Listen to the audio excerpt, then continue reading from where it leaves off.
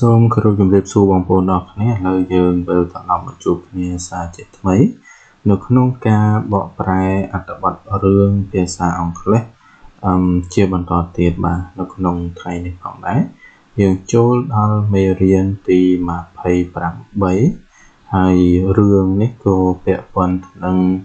ជីវភាពប្រចាំថ្ងៃរបស់មនុស្សយើងផងដែរដែលអាចជួយជំរុញ ឲ្យបងប្អូនអ្នកសិក្សាបានចេះចាំនៅពាក្យពេចន៍មួយចំនួននៅក្នុងការប្រើប្រាស់ប្រចាំថ្ងៃតាមរយៈរឿងនេះបាទហើយរឿងនេះគឺយើងចូលដល់រឿងទី28សម្រាប់បងប្អូនដែលមិនទាន់បានសិក្សាពីរឿងទី1មកយើងអាចទៅរៀននៅអឹមរឿងទី1រហូតដល់រឿងទី28នេះបាទ ដើម្បីជួយដល់បងប្អូនទាំងគ្នាឲ្យទទួលបាននៅចំណេះដឹងទាំងការអប់រំនិងការសិក្សាភាសាអង់គ្លេសបាទជាយើងគុំមកខាត់ពេលវេលាយូរយើងចូលមកសិក្សានៅក្នុង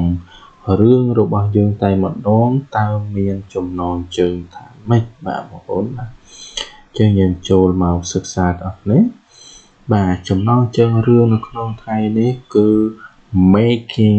relation special មានន័យថាការធ្វើឲ្យទំនាក់ទំនងមួយនឹងមានលក្ខណៈពិសេសអឺល្អនៅក្នុងការទំនាក់ទំនងស្រឡាញ់គ្នាអញ្ចឹងណាបងប្អូនបាទជាយើងគុំឲ្យខាតពេលវេលាយូរយើងចូលមកសិក្សាតអស់គ្នាបាទប៉ុន្តែមុននឹងចូលដល់ការសិក្សានៅអត្ថបទរឿងនេះ បងប្អូនដែលទៅតែចូលមកសិក្សាថ្មីបាទមិនទាន់បានចុចពាក្យថា Subscribe សូមបងប្អូនចុចពាក្យថា Subscribe ដើម្បីទទួលបាននៅចំណេះដឹងក៏ដូចជា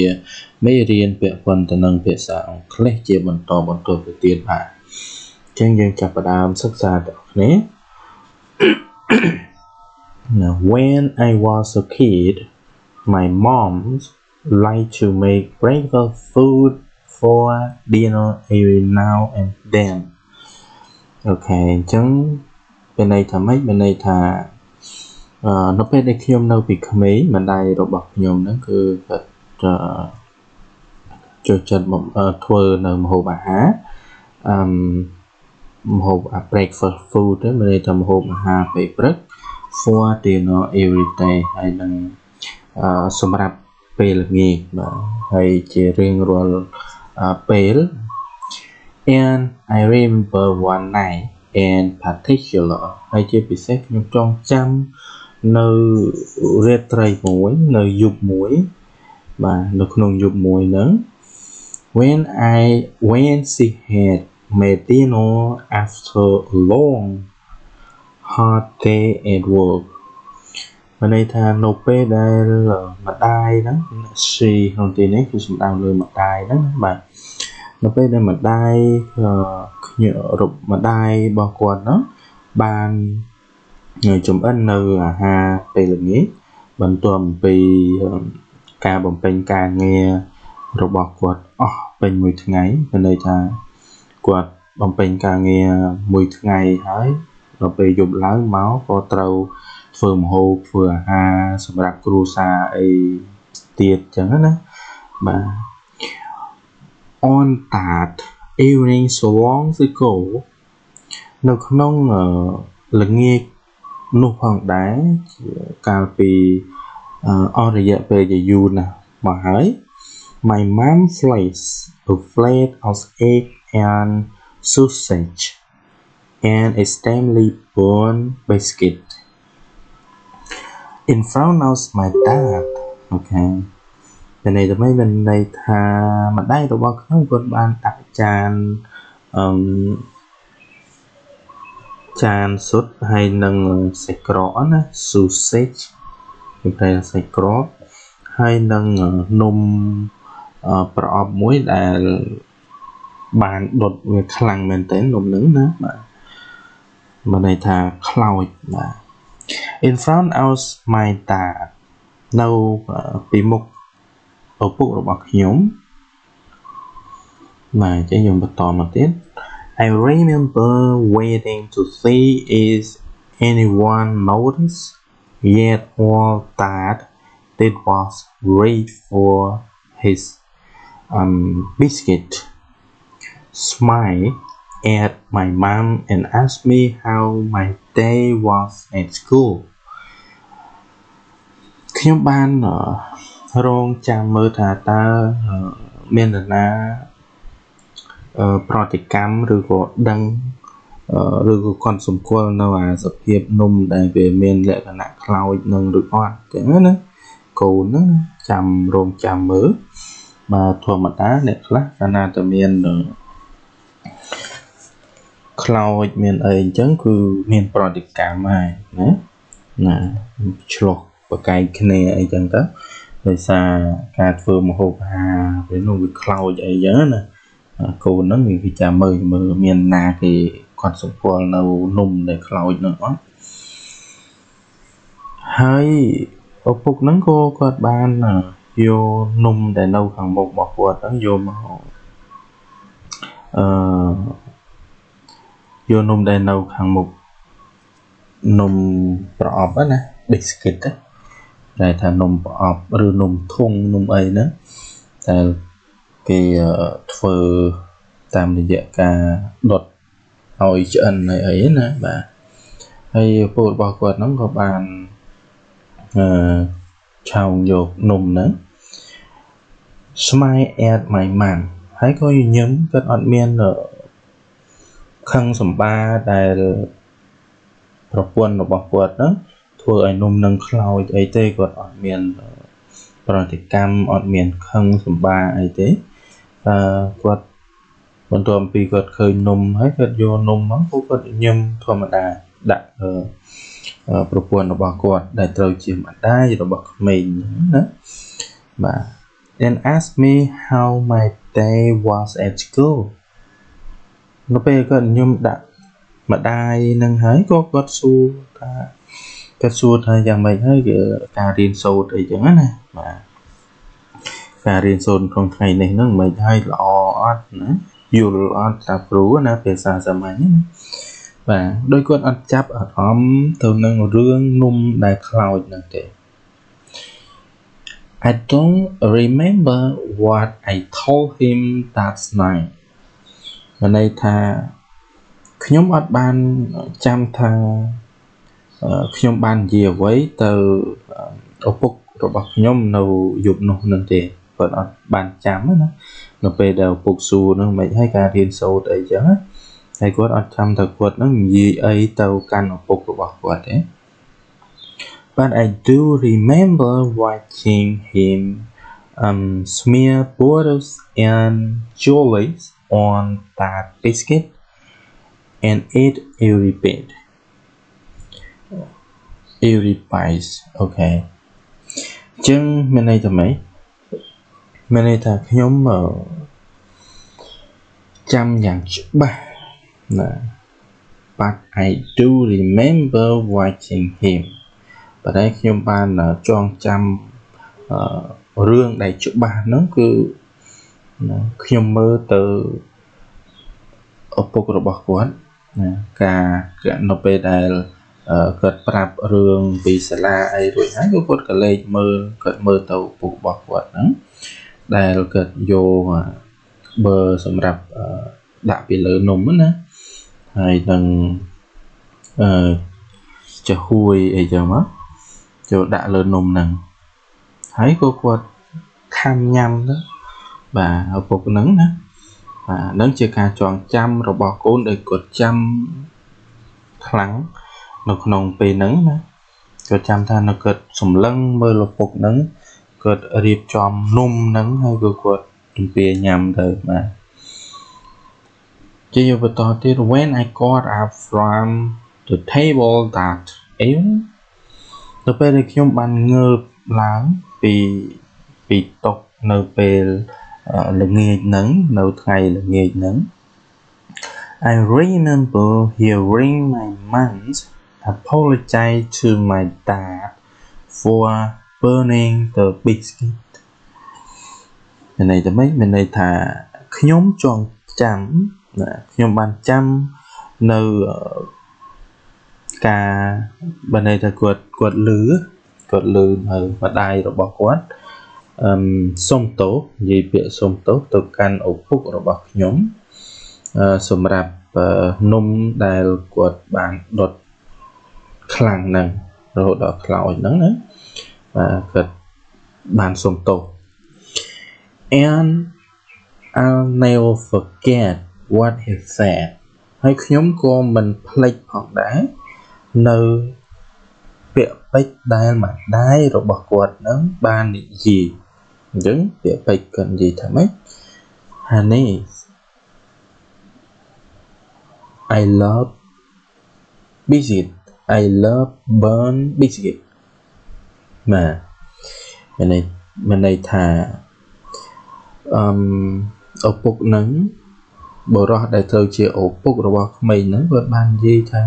ខ្ញុំចូលចិត្តនំដែលអឺ ប្រពន្ធគាត់បានដុតណាគាត់និយាយទៅកាន់ប្រពន្ធគាត់អីទេបងចូលចិត្តនំដែលឯងដុតហ្នឹងបាទ Later that night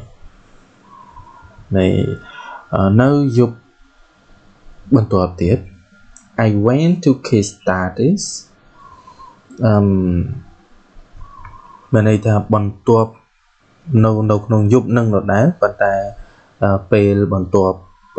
ពីពីនឹងមកណា I went to kiss status good night and I asked him is he really like his biscuit bone អឺគាត់បានទៅថើបឪពុករបស់គាត់ហើយក៏និយាយពាក្យថារាត្រីសួស្តីអញ្ចឹងទៅ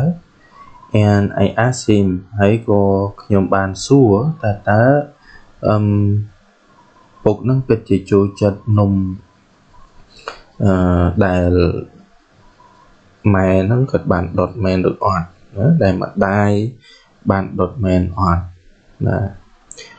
He raised me in his arm instead ឪពុកនឹងគាត់បានយកដៃមកហើយអោបខ្ញុំអឺ នៅក្នុង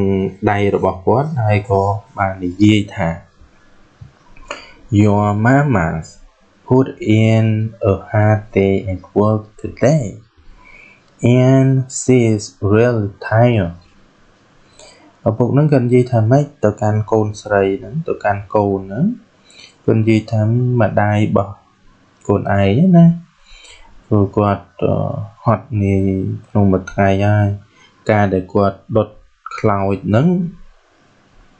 គឺដោយសារអីគាត់គាត់ហត់នាយគាត់ធ្វើការហត់ពេញមួយថ្ងៃតាំងពីព្រឹករហូតដល់ល្ងាចហ្នឹង and she's really tired ហើយម្ដាយរបស់កូនឯងហ្នឹងគឺគាត់ពិតជាអឺអស់កម្លាំងថៃអស់កម្លាំងហត់បាទ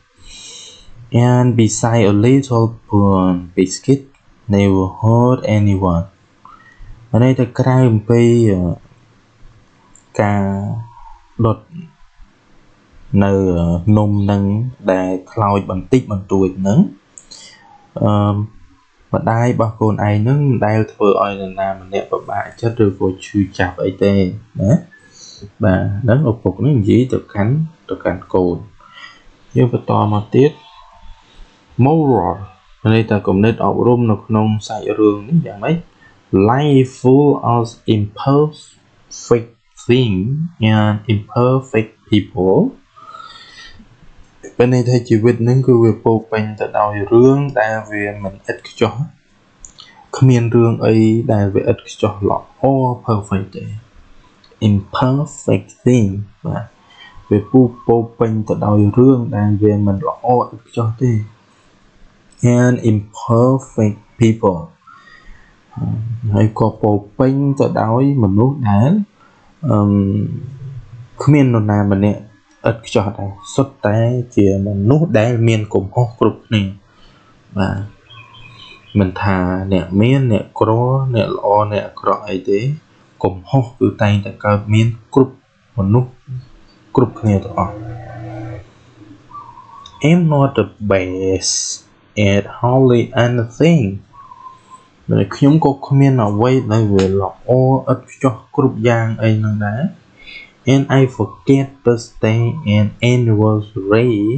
just like everyone else ខ្ញុំក៏ពេលខ្លះក៏បានភ្លេចនៅថ្ងៃ birthday ណាថ្ងៃខួបកំណើតហើយនឹងគម្រប់ខួបអាពាហ៍ពិពាហ៍អីហ្នឹងដែរ ដោយតែអ្នកអស់គ្នាមួយចំនួនខ្លះដែរ but what I have learned over the year is that learning to accept each other for